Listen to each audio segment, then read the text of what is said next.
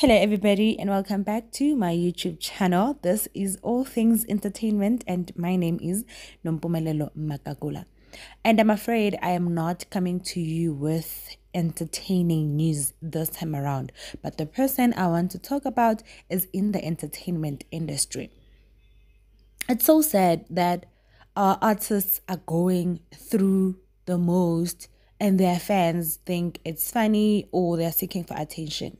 So last night, TNS took to his Facebook and he wrote a very disturbing post. He said, Before bulale, I'll give you um ingoma yokugcina. It's titled Gubi. Thank you.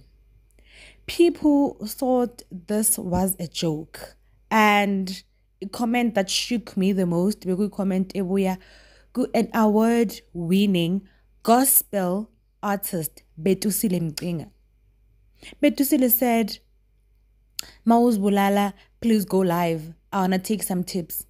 Like, really, Bethusile, an old man like you who's going around preaching the gospel. Like Kamampela doing all that for likes and clout. Because I think by the time Ngfundalea post, Bethusile had like 900 and something laughing uh, reactions.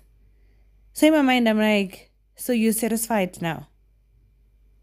Instead of going in there and telling the guy to pray, to talk, or whatever, after seeing Ugutu Riky Rick has also been going around saying he's depressed, saying, if you don't hear from me, all those things. Next thing, we didn't hear from him. And then Utienes writes almost a similar thing. And then you're laughing about it. But at least other people um were trying to ukuthi bamtshela ukuthi no god is there.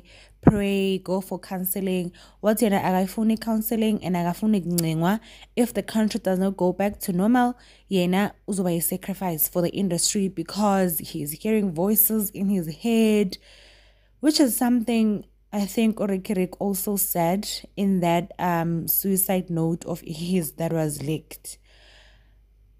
So what's happening? And then he continued to say he loves his son.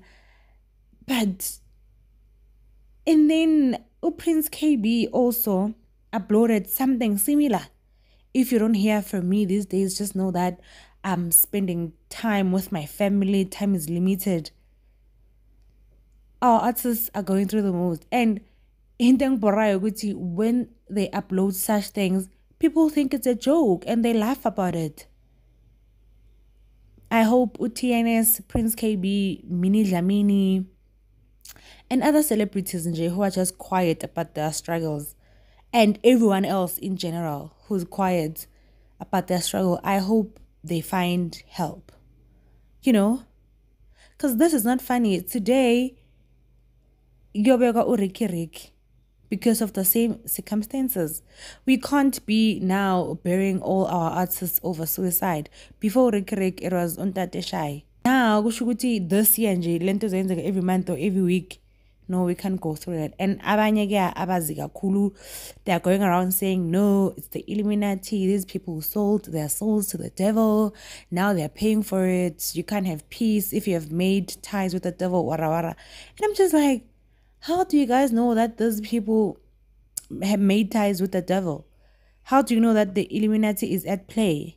Just last week, people were saying, let's be kind, have sympathy, wara wara. That sympathy of yours lasted for two hours. I, anywho, let's hope TNS will be fine. And he also posted what he's going to Botswana. So maybe things will be back to normal. Thank you for listening.